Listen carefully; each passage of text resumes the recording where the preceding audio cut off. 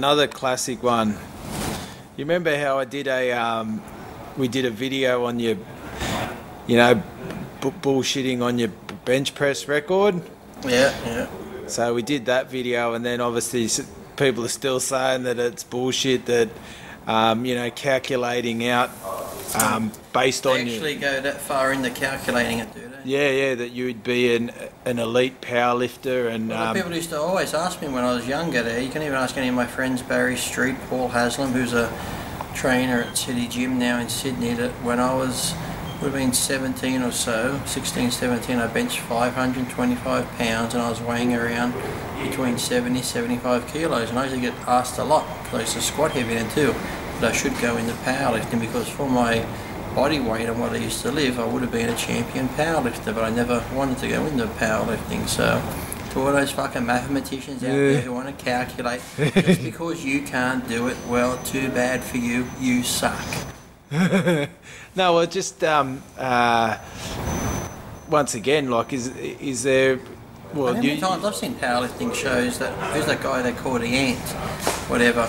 I've seen a ton of powerlifting shows where you see these guys who look like nothing fucking lift huge amounts. So some people are just genetically strong. You know, back then I might have had a ton of muscle, but yet for my age I was super strong. So, So- there's a lot of people out there who, like I said, you might look at him and go, he doesn't look much, but then even at the gym you see him bench or something, you're like, fucking hell, look at the weight he lifts or squats. So. well, they're all, well, actually, you've done what you've of sort of you've named some witnesses um, that, that were actually there and, and, and saw it. And the other one is the, the classic one was your, your barbell curl. Was what was that? Was that was 305 pounds, and um, Joe Gold was there looking out the window. Eddie Giuliani, Yeah. who's from Pumping Iron, he was there on the balcony watching. Steve Strong, that used to work at the gym, if I could find Steve wherever he is now, he actually took photos of it, so he actually has photos of it. He actually keep, used to keep them in his gym bag to show people. So I'm not one of these people that bullshits and makes up poundages just for the fun of it. If somebody asks me what's the best I've done, I'll say, you know, best I've ever curled was 305. If the best I've ever curled was 150, I'd say the best I've ever curled was 150, just like what I use when it comes to drugs.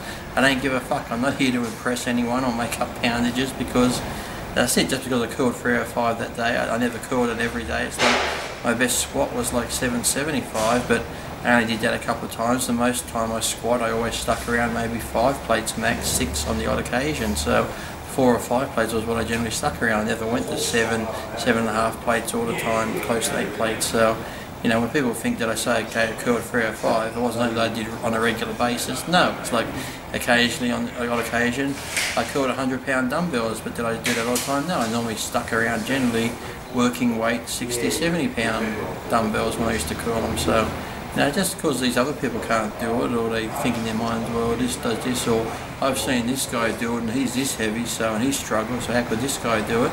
Like I said, I've been to gyms many times and I've seen somebody load up a machine. I look at the guy thinking, oh fuck, he's going to kill himself, but yet he does the weight. So some people are just naturally strong, and just you know, just because we can't do it, you know, and someone else can, you don't look for excuses. But you know, it's that tall poppy syndrome, you know. If they can't do it, they want to put everyone else down that can. So it's just jealousy. And while, while they've got their calculators out, with, with the 775 pound squat, mm-hmm. was that one rep or Six. six reps? Mm-hmm. Yes, Mark. Mark that used to work at World Gym was there spotting me in that. So yes, because when I they actually had to, when I lifted the bar up, they had to get two people to lift it off the rack because as I lifted the bar, the bar bent, so it was still sitting on the rack. And then when I went back to do it, I actually felt my spine go through. So when I was finished and went to put it back, I was probably this much shorter, so they actually had to help me get it back up on the rack. So yes. Yeah. Yeah. I just think, you know, there's. I, I can't understand the people that are into training haven't come across or don't know people that are. Just like I said, it just seems to be these idiots these days. The more like fancy boys that just take gear, go to the gym, the one look pretty, the ones that get on the keyboards and do it. Because if you look back in the old days, the Barbarian brothers, you know, look at them, you know, four or five plates pressed behind the neck. They were cool on the 150 pound dumbbells, benching heavy weights. Yeah. All the guys back in those days used to lift heavy weights and no one ever questioned it. People saw him do it, they're like, fuck, they're strong. Yeah, you yeah. know?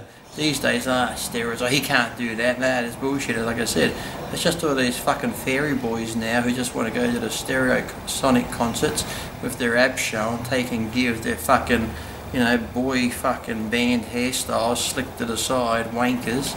Who I said just because they can't do it, no one can do it. So, like On- I said, And also, and it doesn't matter if it's bodybuilding or running or you always come across guys that have just got that, anything. you know, they'll just pick up a cricket bat and start, yeah, you natural know, to do it. Like so you could have somebody who's a good runner. You can have one kid say, "Let me race," and all of a sudden, boom, he bl- blows Yeah. past you. You're like, "Well, fucking hell," you know.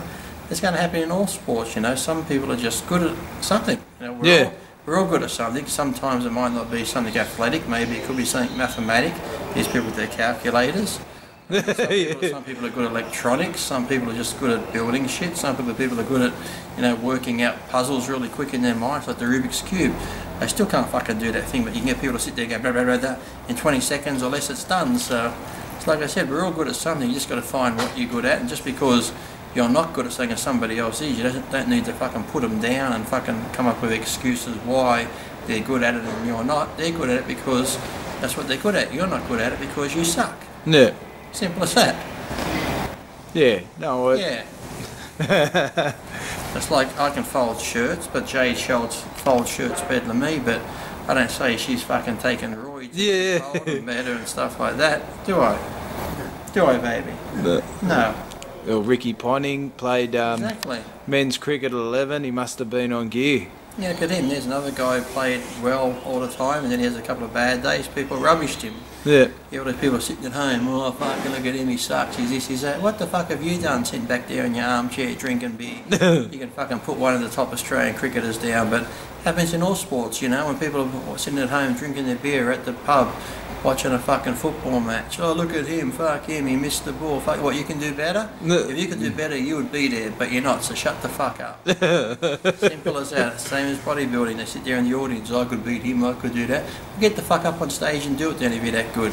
Now, everyone just wants to sit back and fucking put everyone else down that's doing something. So, unless you're going to get up there and do it yourself, shut the fuck up. Whether it be bodybuilding or anything. So, shut up. haters. Is.